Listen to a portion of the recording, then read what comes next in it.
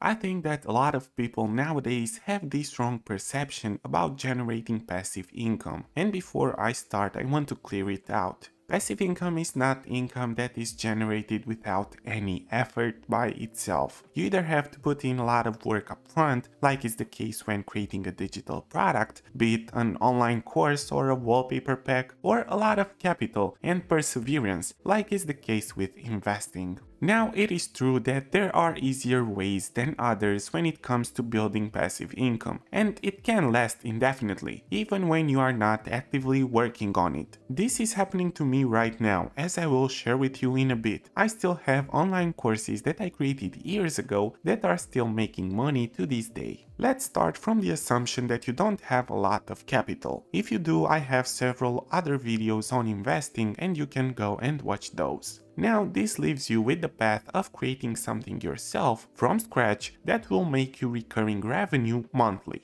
either by charging a flat buying price or a recurring monthly subscription. There are several options and it all depends on your skill set and the area you feel that you can provide the most value in. With me being a software engineer, it felt pretty straightforward to jump into teaching others how to code. But for you it may be video editing, playing the guitar or cooking. So identify what you're good at, or at least know more of than the next guy. This should be your niche. Once you know this, you can create some sort of digital product that revolves around the topic. If you're an artist, you can create phone or laptop wallpapers. Maybe you studied medicine and you can create some sort of video material helping others pass their exams. The key thing you need to get right here is creating this asset only one time and then putting it up for sale somewhere where it can be bought by your target audience for a long period of time. This way, when you finish the product, your time will be detached from this source of income. There are online platforms that can help you with this. It depends again if you already have a pre-existing audience or marketing strategy, or if you want the platform to do that for you. Choose wisely as that marketing comes with a price, you only get a smaller part of each sale. If you are just starting out and have no one to sell whatever you are creating to, I recommend becoming an instructor on Udemy or Skillshare. The whole creation layout is very intuitive and they handle the entire marketing side of things. But for someone with a following, something like Gumroad for wallpapers, Kajabi for online courses or simply Payhip for pretty much any sort of digital asset would be a better fit. So let's get straight into it and let me show my dashboards for the past few years of selling these courses on programming. This is the Udemy one. Here I have published most of my courses that I created over the years on topics that range from APIs, the OAuth protocol, to integrating different Python libraries. It is a work in progress. I started out back in January of 2021, but other than the upfront work of creating the courses that took me from one week to one month, depending on the topic, there wasn't much work. I also have a part of my courses on Skillshare. They are trimmed and modified to fill the whole project-based approach of the brand. But you can see before any taxes I grossed about $16,000, which is about half of my yearly salary. Not bad at all. And my example is a pretty modest one. But if we look at other more talented or full-time involved authors, we can see much more impressive results. Easlo, this guy that makes Notion templates, has shared that he makes 200k yearly from selling these.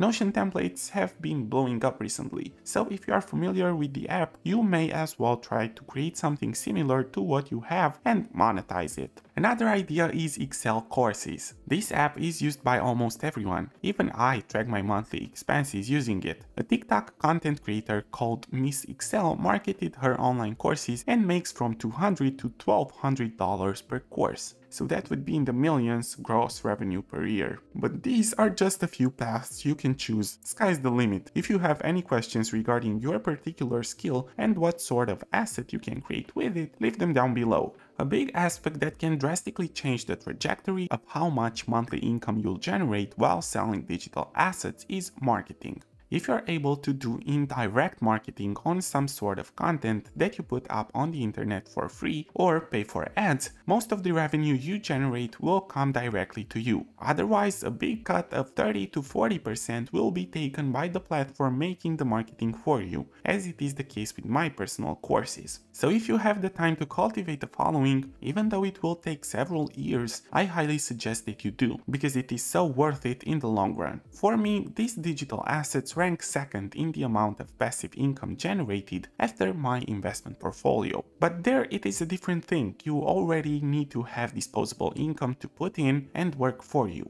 as here you can create income out of thin air if you are able to market whatever you're selling and bundle up enough utility in it to be worth it. And I think this is what makes this even more valuable, even though it is not as passive as investing in ETFs or the stock market would be. To reiterate, what is most powerful about digital assets is that I still have content that I created years ago and that is still making me money to this day. So hopefully you guys enjoyed this video. Thank you for watching it to the end and I'll see you in the next one. Cheers!